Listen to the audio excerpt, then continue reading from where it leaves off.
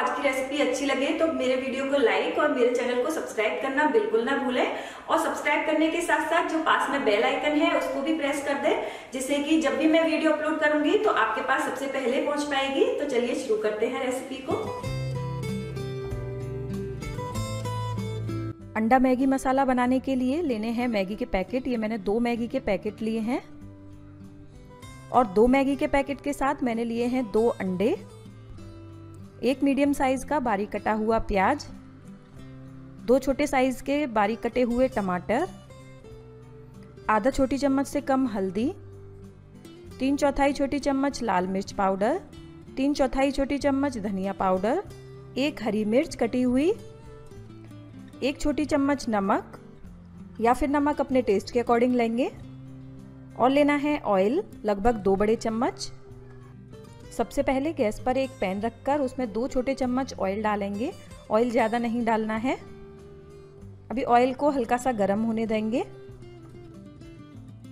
Oil के हल्का सा गर्म होने के बाद गैस को अभी लो कर देंगे और इसमें अंडा डालेंगे। अंडे को इस तरह तोड़कर फिर डालेंगे इसमें। पहले से मिक्स भी नहीं करके रखना है अंडे को डायरेक्ट पैन में ही डालना है। इसी तरह से दूसरे अंडे को भी डालूँगी मैं पैन में।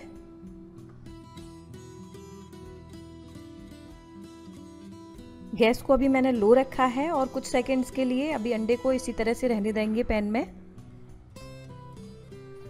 कुछ सेकंड्स के बाद अभी इन्हें मिक्स कर लेंगे अच्छे से। कुछ देर बाद आप देखेंगे कि जो अंडा है वो ड्राई होने लगा है। तो अभी लो मीडियम फ्लेम पर इसे लगभग आधा से एक मिनट तक इसी तरह मिक्स करते रहेंगे। अंडे को मैंने फ्राई कर लिया है लगभग एक मिनट के लिए, लो मीडियम फ्लेम पर। अभी इसे अलग प्लेट में निकाल लेंगे। अब पैन में दो छोटे चम्मच के लगभग ऑयल फिर से ऐड करेंगे और ऑयल को गर्म होने देंगे। ऑयल के गर्म होने के बाद इसमें कटा हुआ प्याज डालेंगे और हरी मिर्च भी डाल देंगे अभी इसमें। अभी इनको फ्राई कर लेंगे हल्का सा और गैस की फ्लेम हाई से मीडियम के बीच में रखेंगे।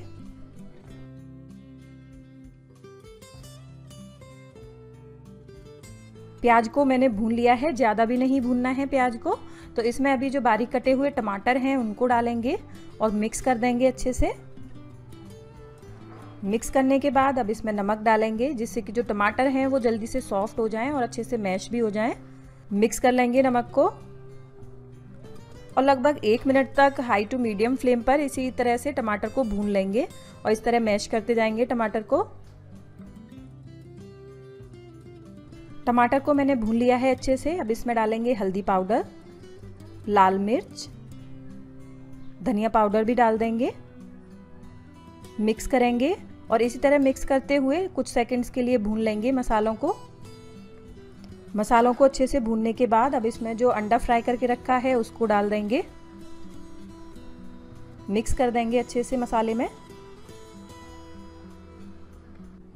और इसी तरह मिक्स करते हुए लो मीडियम फ्लेम पर अंडे को थोड़ा सा पका लेंगे मसालों के साथ। अभी ये आधा मिनट तक मैंने अंडे को पका लिया है मसालों के साथ तो इसमें भी पानी ऐड करेंगे। मैंने इसमें लगभग दो गिलास पानी ऐड किया है और जो पानी का अमाउंट है लगभग आधा लीटर से थोड़ा कम है। अभी इसको बॉईल होने देंगे पहले। पानी में उबाल आ गया है तो अभी इसमें डालेंगे टेस्ट मेकर जो मैगी के पैकेट के अंदर ही निकलता है, वो डाला है मैंने अभी। दूसरा पैकेट भी डाल दूँगी मैं इसमें। मिक्स कर देंगे अच्छे से। मसाले को अच्छे से मिक्स करने के बाद अब इसमें जो मैगी है, मैगी को डालेंगे। इस तरह से तोड़कर डाल देंगे, जिससे कि मिक्स करने में आसानी रहेगी। ये दूसरा पैकेट भी डाल दिया मैंने। अभी बची हुई मैगी भी डाल दूँगी मैं इसमें। और मिक्स कर लेंगे अच्छे से। और गैस की फ्लेम को मीडियम रखा है मैंने।